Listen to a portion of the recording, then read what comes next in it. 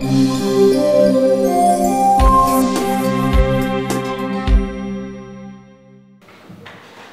já když to vezmu úplně od začátku, tak první myšlenka byla natočit vlastně stejný záběry, jako jsou ve filmu vlastně toho Putimova a udělat si jen takový krátký video, porovnání tenkrát a teď.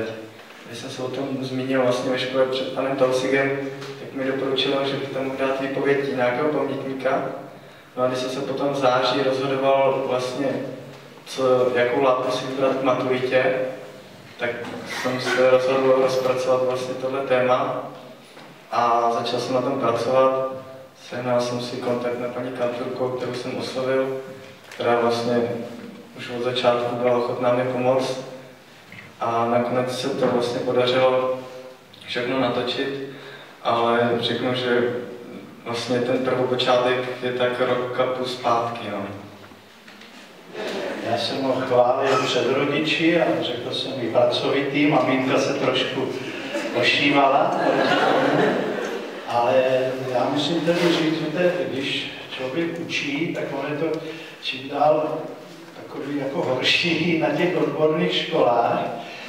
Já to prásknu na spoustu těch žáků, který tam máme. Oni jdou studovat tak specifickou, eh, specifický obor, jako je film a fotografie, a je nebaví se dívat na filmy. To, to, to jako, no tak je to možná o tom, že ševce nebaví nosit, nosit boty, ale když přišel David, on, tam byla určitá výhoda, že on už jednu maturitu měl a to je vždycky pro kantora je to štěstí, když vidí někoho, kdo má to zájem a kdo má zároveň určitý předpoklad. Já odpovím na otázku, jaký byl žák, on už úspěšně skončil. Výborný.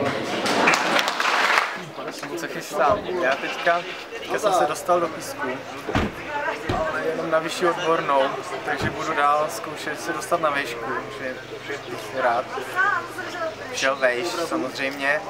A co budu dál dělat, ne, se naskyne další projekt.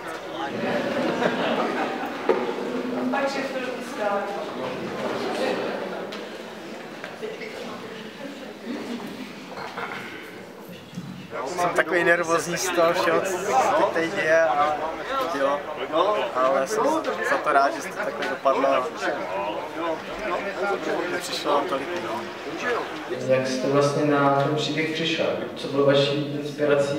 Kde jste hledala a vlastně jste dospěla k tomu námětu té smuteční slavnosti? No, já jsem vyrůstala na venkově, na vesnici a to vystěhování se v té vsi, kde jsem jako dítě vyrůstala, odehrálo a znala jsem ten statek, jak ho vlastně vystěhovali, zničili ty lidi, kteří se museli, se museli vystěhovat, jsem znala jako, jako skvělý sedláky a, a dokonce ten, ten kapelník tady z toho filmu, tak ten jeden můj příbuzný na vsi takovou kapelu měl a na takovém pohřbu opravdu hrál.